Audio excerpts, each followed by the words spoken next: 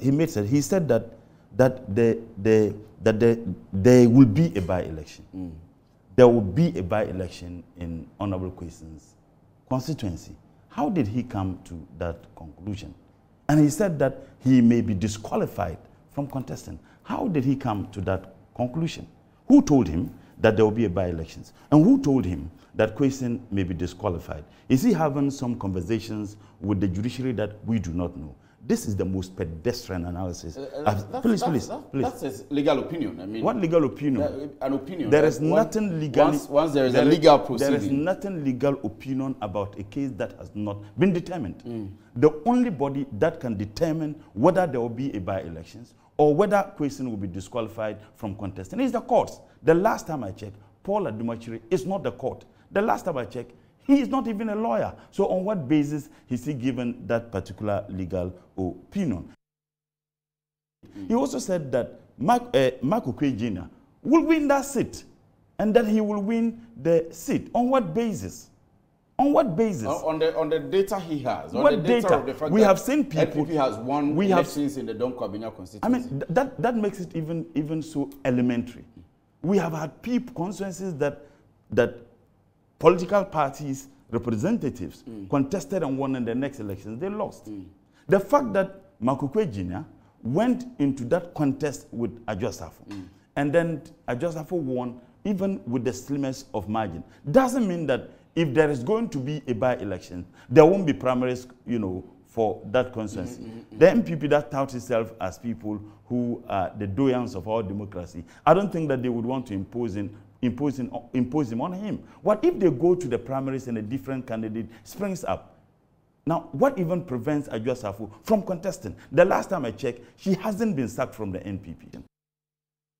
That is why I say that he consistently makes mockery of these two great people. How? Maybe why? How? how Plato, I mean, how does that happen? Plato and Aristotle were people who fought for principles. Mm. They stood for something. They didn't stand for their stomachs or the wealth of themselves and their families. They stood for principles. And I expect that if you display the pictures of these two people, you will stand for principles. But you, you, you don't think you don't think you don't think my boss uh, uh, that Paul, Paul stands for principle. He has an appointment in this government. Has, his wife has an appointment in this government. What he does these days, you think that is a reflective of the good. You, you don't think he Look, stands for good, principle? Is, he has never been one. The Good Evening Ghana has been debates, unfortunately, and that is why I would have loved he's on this program. I am not blaming you for debasing the Good Evening Ghana. I am blaming him for what he's doing. He has the right to do so but, but, in a serious in a serious democracy, in a serious media house, he wouldn't be hosting the program. Do you he agree hosts. that? Do you agree that your opinion is subjective? How subjective is it? It's, it's what you think. Of, of what, Paul what, said, what, he, what Paul said mm -hmm. in the matter of mm -hmm. a court, mm -hmm. in the matter of a case that mm-hmm. is before a court, mm-hmm. that is being determined by a court, mm-hmm. is not an issue of, of opinions. He made a conclusive statement. I sincerely apologize. I've been told that uh, Mutala is actually not a lawyer. He's a, a trained teacher with a, a, master's in development something and a master's in international relations. Oh, I, am sorry. So now it makes sense. He doesn't understand stare decisis. I'm going to teach him tonight. Oh, Mutala, sorry. You, I thought you were a lawyer. That's why I was angry. I wouldn't have been angry with you. I'm sorry. You, so you are not. You don't know anything about law.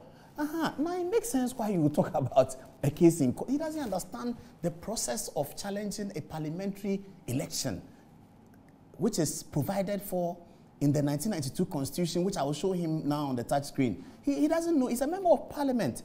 He doesn't know that as a member of parliament, if he wants to challenge his um, election, or if he, yeah, he wants to challenge an election, the process at the Court of Appeal.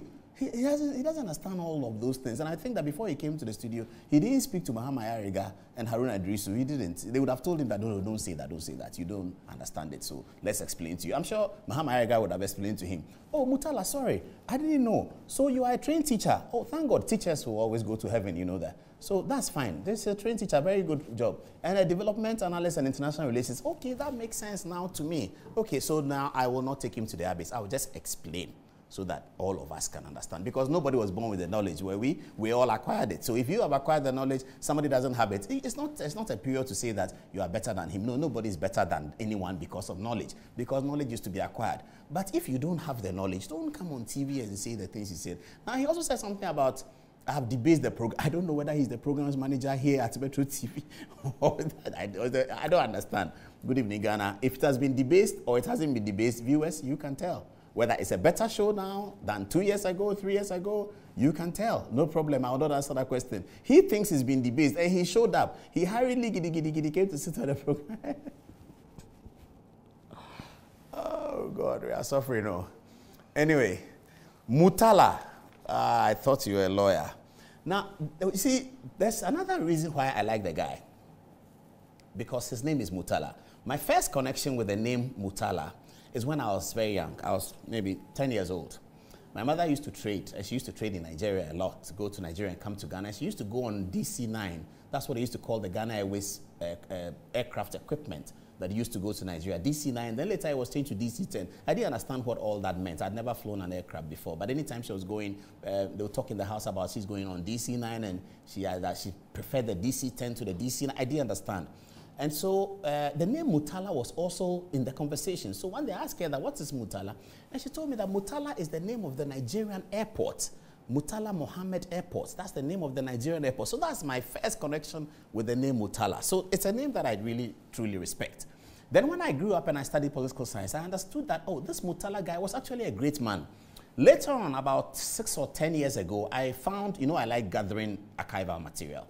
In fact, yesterday and today I've been gathering material for 4th August, which I'll share with you later.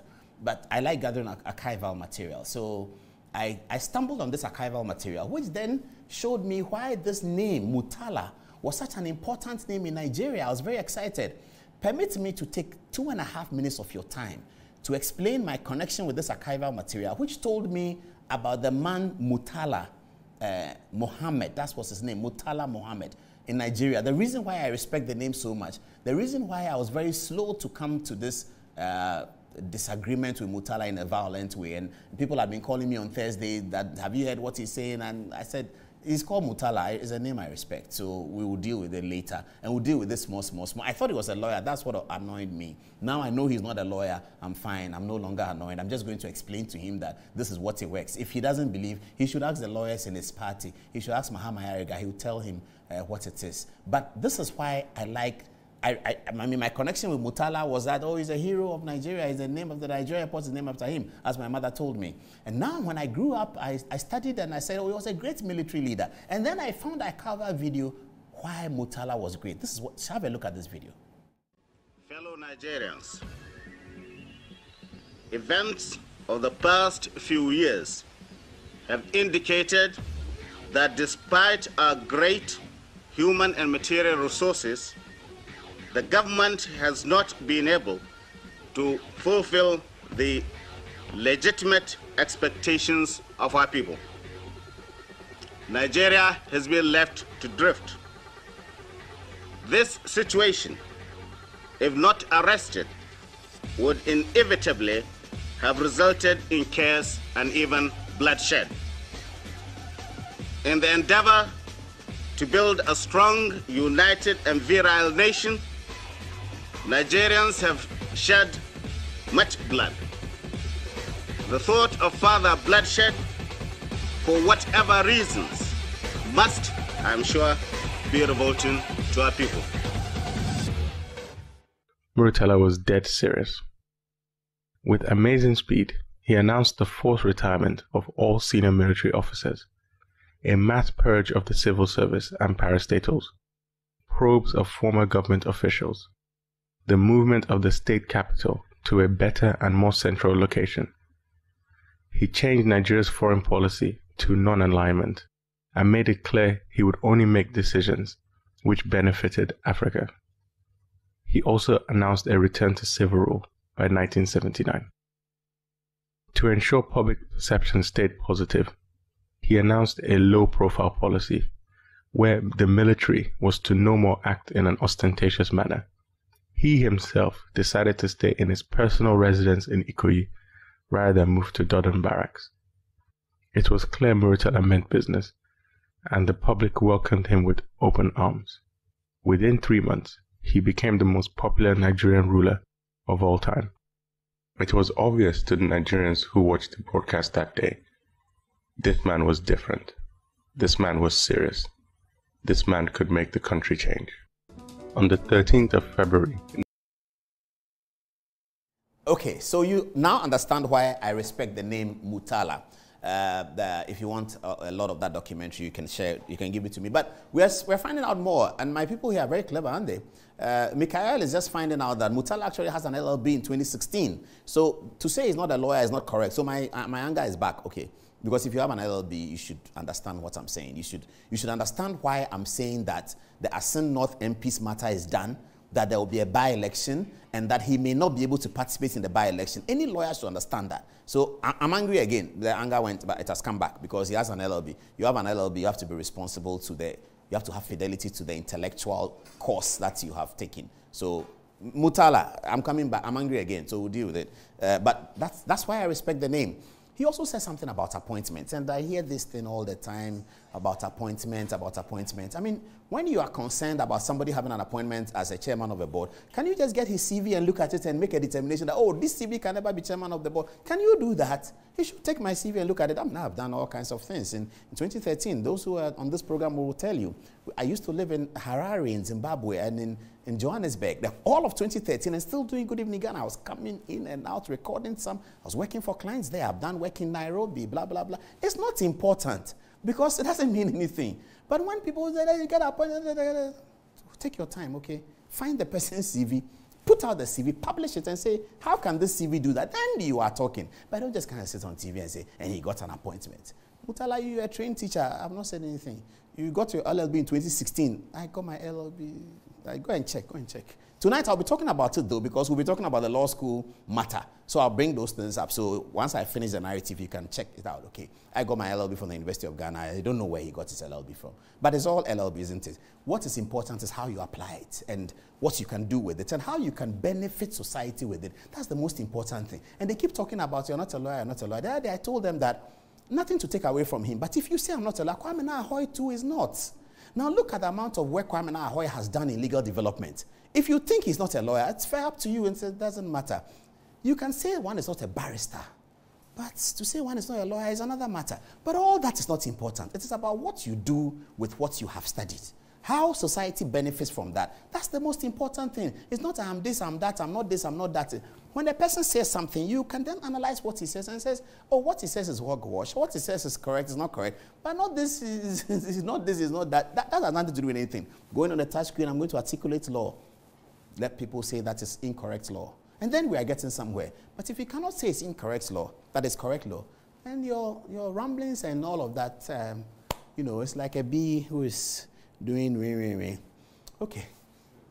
I'll deal with the issues straight up. So he said, for instance, that I said, and I did, that the by elections in Dome Kwabenya, if it occurs, will be won by the NPP. And he doesn't understand why I said that. I'm even seeing that he studied some political science. But that would be the most disappointing thing. If he studied political science and he's saying that even ordinary day one election coverage journalists can tell where Dome Kwabenya's thing is going. Why are they able to tell? Now, in political science, there's political research, and we're taught something. Where you see an event in politics recur repeatedly, it means that it will recur again. So on election nights in America, if you watch CNN, you will see they put up a political election map. They will have some states as red, and they'll have some states as blue. For instance, in the election of 2020, CNN's coverage began with Atlanta that is Georgia, the state of Georgia, painted as red because it's usually a Republican state. By the time it ended, it had been painted as blue. But at the beginning of the analysis, CNN and all the other news networks in America, Fox, everybody, all of them uh, predicted that Atlanta was going to go red, as it has been for the last many years. It was a safe seat for the Republicans. And so, how did, how did they call it? Joe Biden was able to flip it. So at the beginning, anything can happen in Dome Kwabenya because we're talking about human beings. But to suggest that somebody says NPP is going to win that by-election and that's some underhand dealings and it means that there's some connivance going on, that is totally irresponsible of a member of parliament. And that's why we see a Free told him that's based on the data he has. That data is not mine, it's data right here. So let's look at Dome Kwabenya's election since 1992 and make a determination and shame uh, Mutala. Mutala, we are going to shame you tonight because it means as a member of parliament, you have not even acquainted yourself with the data of Dome Kwabenya, and then you were talking. Okay, so this is how it started.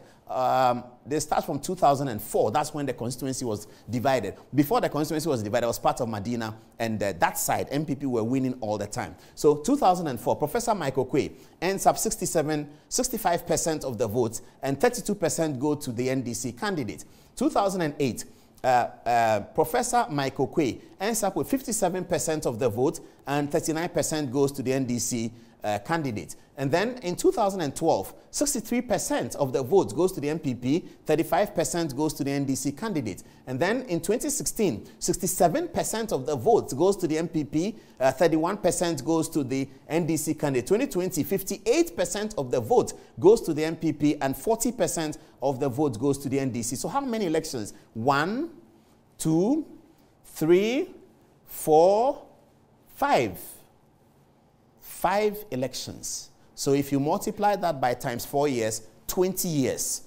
In elections that occur every four years, and you have five election cycles where a particular party has won all the time by more than 50% of the votes, not, not a slim margin. They've always won a landslide that's a safe seat for the party that has been winning. Tell Mutala that he does not understand political research, and for a parliamentarian, he needs to understand it because it is useful for his work. So, Mutala, the reason why we say that if a by election occurs today, the NPP will win is the data. And sometimes they don't do fidelity to the data, they are just talking. That's the problem, just talking without any intellectual basis. They don't, they're just talking. A whole member of parliament. We are talking about parliamentary seat, and you open your mouth and you are just talking.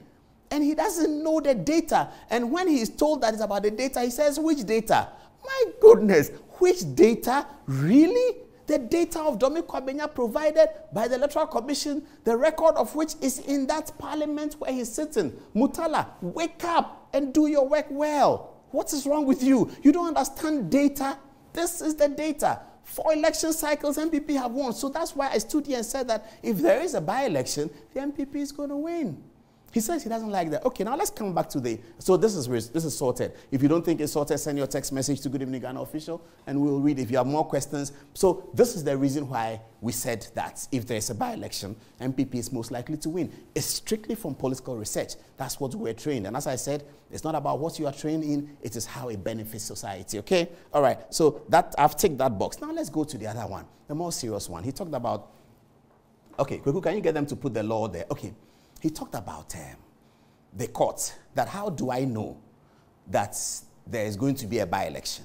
Okay, because he, he, doesn't even know what is happening. He doesn't understand it. So I'm going to explain how I know. Not just me, but anybody with sufficient legal knowledge in the 1992 Constitution can predict that there will be a by-election at Assin North. Even campaign has started in Assin North. Selections have started. Political parties, both the NDC and NPP, are talking about who is going to be our candidate. How did they know? They know because of the position of the law. And if Amaliba has any acquaintance with the, uh, did I say Amaliba? Sorry. If Mutala has any acquaintance with the law, he would know that, that uh, the, the, the, the, constitutional provisions and the processes that have obtained in the court so far is clearly pointing to one direction and is pointing to a by-election in Assin He doesn't know this Maybe because he doesn't understand, I'll forgive him. But if he's supposed to understand and he doesn't understand, then shame on him. That's not to be forgiven. Shame on you, Mutala. You should read your law well as a member of parliament. You should understand every provision in the constitution that has to do with parliament. And the article I'm going to show you is strictly related to parliament. The article is under the subtitle of the constitution, the legislature. You are a member of the legislature and you don't understand the provisions of the articles concerned with the legislature. That's crass. That's shameful. Don't do that again, okay? A whole Tamale Central, that's a big city you represent. Tamale Central is a big city you represent. It's an important city in the historical analysis of Ghana. You carry an important name, Mutala. Live up to it. Live up to your name, Mutala. Your name is important. Live up to it. Don't debase the name. What is this? Oh, okay. Let's start. Uh, what is thyroid is. Let me teach him something. So I'll go to it so that we can all follow. Now, I, I didn't know this, I learned it. If you don't know it today, you can learn it. Everybody can learn it. It's better if all of us learn it. That one knows it and one doesn't know it, it doesn't mean anything. Anyone can learn it. So let's learn it. All right. What is stare decisis? It is a legal principle. That means that the courts will follow principles in decided cases that are of similar facts and provide the same issues for determination. The often used phrase stare decisis is derived from the Latin phrase stare decisis et non quieta movere, which is translated as follows, which is translated as follow precedent and leave things at rest. So stare decisis means that when the courts have, so this is really a common law principle. When we say a common law principle, uh, or if you like, it's an um, Anglo-American common law principle. It means a few different things, but, but it's a fundamental principle with the common law world. Common law world is Britain and its colonies. Uh, the Americans try to distinguish a few things, so we call it uh, Anglo-American common law principle. Now, common law because it is with the common law. The other side of the law is called the civil law. Um, so we call those countries that practice civil law the civilian countries. Quick example, the rest of Europe, Holland, France, da, da, da. In Africa, South Africa, they practice civil law. The other fundamental difference in common law and civil law is that in common law, the judge is an umpire, solely that. In civil law, the judge participates. So you hear in the French world, they call them judge advocates. So the judge sort of participates. He can't participate in the trial. The judge can push his opinion in the trial. In common law, you cannot do that. So those of you who have seen you see that sometimes barristers will alert the judge that, my lord, you are participating. And the judge will say, no, I'm not saying, no, you are. This question is, is a leading question, my lord, you can't do that. Now, you can't do that because if you're a judge in common law, you are just an umpire. You hear something said that is so bad, you say nothing. You just let this person talk and then you give your ruling. But in the civil law, they can actually do better than that. They can go a bit further than that. So that's, that's what we mean by common law, or if you like, the Anglo American common law. Stare decisis is a fundamental principle of the Anglo American common law, where if a case has been decided today in a certain manner, and you have another case that follows the events in that case. So let me give you an example. Uh, Kofi Mensah goes to Makola and slaps uh, Kwame at Makola Market at 12 o'clock in the afternoon. Kwame Mensah takes the matter to court through the police. The court rules that if you slap somebody at Makola Market at 12 o'clock on Tuesday afternoon, you go to jail for two years. Okay. So when tomorrow, Abraham Menu also slaps Nakai at Makola Market, 12 o'clock on Tuesday, when we go to court, the judge cannot do anything else but to follow the decision in Kofi Mensah. That's stare decisis. The judge is bound compelled, expected to follow the decision of the, the same matter that occurred before. That's stare decisis. That's a common law principle. So we can tell that Quayson's matter will follow Adamu Sakande because it is the same. And then we know that Quayson's matter has finished the process. The Court of Appeal has ruled on it. So there's nothing more to rule. Now, I'll give you the details of where Quayson's matter is, and then you can understand how it came to a conclusion. But let's just finish up on stare decisis. Okay, so we move on. In the famous case of uh, Kimble and Marvel Enterprise in 1957, the principle is explained. The U.S. Supreme Court described the rationale behind stare decisis as, quote, promoting the even-handed predictability. Have you seen the word? That's, that's what Murtala should learn. Stare decisis is supposed to help us, all of us, you and I, citizens, journalists, lawyers, everybody, to be able to predict cases because we know that this has happened before. And this is the way the court ruled on it. And therefore, once we are in a common law jurisdiction, if the same case comes again, the court will be bound to rule again this way. And that gives us predictability. Where is he? Call him. Call him that we are talking about him. He should come and sit down and let's talk. Then He should come and sit down and learn something. You know? Okay. So the court, the thing says that the Supreme Court described the rationale behind stare decisis as, quote, promoting the even handed predictability and consistent development of the legal principles, fostering reliance on judicial decisions and contributing to the actual and perceived integrity of the judicial process.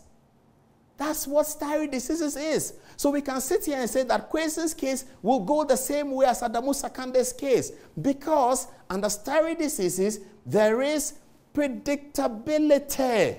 So when you give the predictability, Mutala then thinks that what does Paul Adom-Otchere know? He knows the judges. He, I don't know any judge. He knows this. No, no, I just study stare decisis. Mutala, if you study, you can predict without knowing any judge. You don't have to know any judge. Because if you study the principles and you know of Adamu Sakande and you know of stare decisis, you can tell that this, this case of, of Quayson is going this way. And that is what stare decisis is supposed to give us. Predictability is a fundamental canon of law in common law jurisdictions. Explain that to him, yeah? Mutala, I hope that you are learning. All right, let's move on.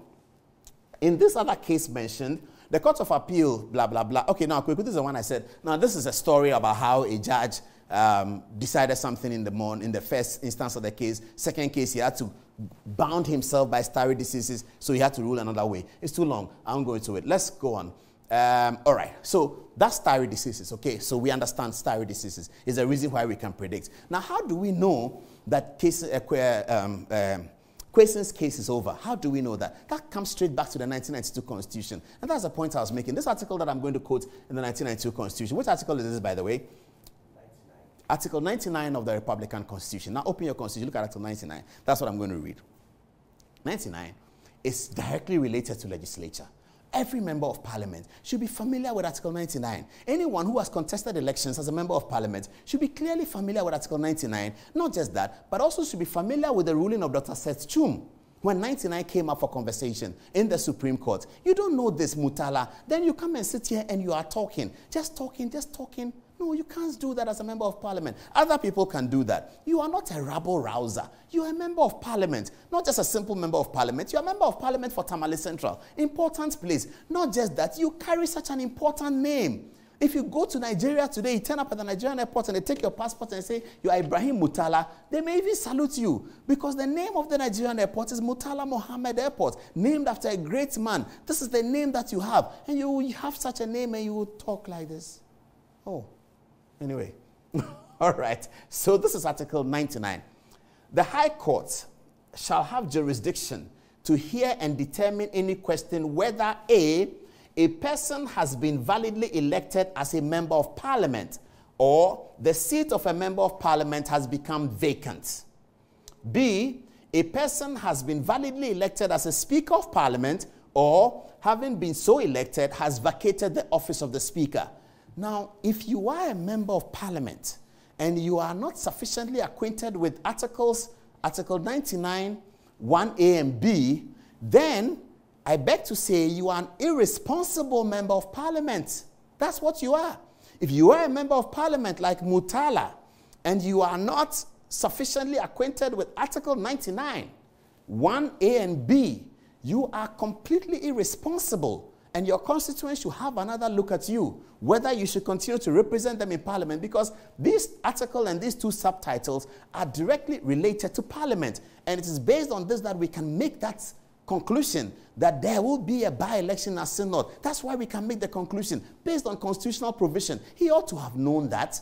He's, he's, he's, surprised about how do we know there'll be a by-election. Mutala, with all that is happening and with the constitution on your table, every member of parliament during the rotation, they dash you a constitution. It means he didn't even read it. He took it and he put it down. I'm sorry to say that. But Mutala, open that book. Parliament didn't just give to you. Taxpayer paid for it. You may be causing financial loss to the state, you know, because the taxpayer paid for the constitution that parliament has dashed to you. It's not a decoration. You don't put on a table. You open it and read it and read especially Article 99 and read all the articles related to you as a member of parliament. That's what you do so that you are responsible and you are showing some fidelity to the people who have elected you in Tamale Central for you to come to Accra to represent them. You don't come and sit on TV and blah, blah, blah as if you are a nobody. You are not a nobody. You are supposed to be an honorable member of parliament. Okay, let's move on. Now, uh, two, it says, a person aggrieved by the determination of the High Court under this article shall appeal to the Court of Appeal. So, when you are aggrieved after a High Court ruling of sorts, the law says you appeal to the Court of Appeal. That's the natural way of appealing anyway, but there's something else. Okay, let's move on. This position was explained in the matter of Article 99 of the 1992 Constitution of Ghana and in the matter of the presentation Representation of the People's Law 1992, PNDC Law 284, and in the matter of a parliamentary election for Wulensi constituency held on the 7th of December 2000. So this night, Article 99 position was explained by Dr. Seth Twum, one of the learned justices of the Supreme Court. He's no longer there. Dr. Seth Twum did a great job at the Supreme Court. Now, we're going to rely on him tonight as the foremost authority for defining the, the spread, the extent, the control of Article 99 in the Republican Constitution. I hope Murtala is listening. Okay. So it says as follows quote, in order that the clear intention of the framers of the Constitution may not be aborted, we are convinced, this is Dr. Seth Twum speaking, we are convinced that this is a proper case to apply the maxim generalia specialibus non derogant, it's Latin, unquote. We hold that the appeal provision in Article 99.2 supersedes the general appellate jurisdiction of the Supreme Court in Article 131A, uh, 1A. Therefore, an appeal lying from the High Court in such matters shall end at the Court of Appeal. Now, why did Dr. Seth Twum have to labor to say this, which is now the foremost authority that we all work with? That when you, when you have a parliamentary election like Assin North, okay, and uh, the High Court deals with it, and you are not satisfied with it, you go to the Court of Appeal in the natural course of events. In the natural course of events, if you're not satisfied with the Court of Appeal, you go to the Supreme Court. That's the natural course of events. The Constitution, however, limited the role of the courts to, to end at the Court of Appeal when it is about a parliamentary uh, election dispute. So, with the parliamentary election dispute, you begin at the High Court and you complete at the Court of Appeal. There's no Supreme Court involvement in that. So, if an appeal from uh, a, a, a, dispute in Assin North has gone to the High Court, Quayson has lost, it's gone to the Court of Appeal, he has lost. What is left? It is the end of the matter. Doesn't he know that?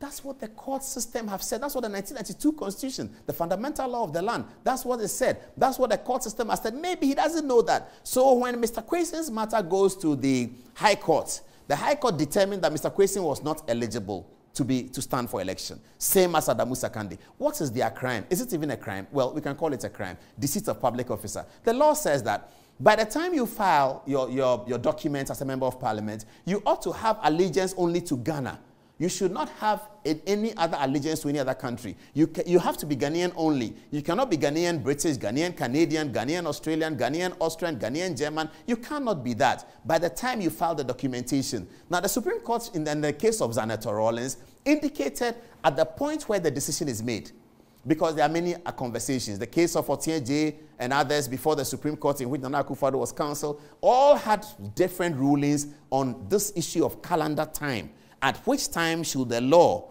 determine that you have lied to the public officer or you have falsified statements? At which time? So the Supreme Court came out clearly in Zanetor Rawlings at the time that you file to the Electoral Commission. So it, it doesn't, it's of no consequence if at the day after the voting, your processes to take yourself out of British citizenship completed. It is in October when you are filing the thing that you write that I, Paul Adom-Otchere, I'm filing for the seat in La Dadekotopon, or I'm filing for the seat in Kwamo, or something like that. Is that day. So if I've been an American citizen, I finished University of Ghana, I went to America to study, I got an American passport, I, I American, I, I, married a Ghanaian who also has an American passport, and then I'm in America, and then my people are calling me, come to Ghana, come and represent that. Okay, so I come. And then I'm told that you cannot hold your American passport. So I called my lawyer in America. I said, Can you begin the processes to take me out of American citizenship because I need to be Ghanaian alone? He doesn't finish. And then October 16th comes. And then the Electoral Commission says, file your document. Then I am the candidate of the party. I go and file my documents, and they ask in the column, Do you hold citizenship of any other country? And I write, No. And then the documents are processed. I win the election. February, my competitor, Yamansan, comes up and says, Paul Adom-Otchere, at the time he filed the thing, he was still an American. And I say, oh, shame, I'm no longer an American. Today I'm not an American. That's not important today. What is important is that on 15th October, was Paul Adom-Otchere an American? If the answer is yes, then Paul Adom-Otchere is in trouble. He's in trouble like Adamu Sakande, he's in trouble like Quayson, and he will follow the same path. The court will rule the same way. Why? Because of stare decisis. You don't need to know a judge. You just have to know about stare decisis. That's all. You can make that prediction. So I think we are done with him, aren't we? We've showed why, if there's a by election today, uh, NPP will win. Okay, the other matter why, how, he said, How did I know that Quayson cannot contest in the election, in the by election? I said that too. He said, How did I know? How did I know? It's simple. In Adamu Sakande, when the High Court determined that he did something wrong, he was prosecuted because what you've done is forgery. To say that I am Ghanaian only when you know, or as the law says, you ought to have known that you cannot do that, is forgery. So Adamu Sakande was prosecuted for forgery. So Kwesi, most likely will be prosecuted for forgery. That's a decision of the Attorney General. It's not my decision. The Attorney General will make his own decision. But if the Attorney General were to follow what happened in Adamu Sakande, which he ought to, he will be prosecuting Kwesi. If you go under that prosecution and you fail in the prosecution, you are an ex convict, you cannot be a member of parliament. That's why we can rightly predict that when there's a by election, Kwesi will not be able to participate in the by election. Why? Like Adamu Sakande. Why? Because of stare decisis. Is that not simple? I believe it's a simple. Have we ended? Yes, we have. Okay.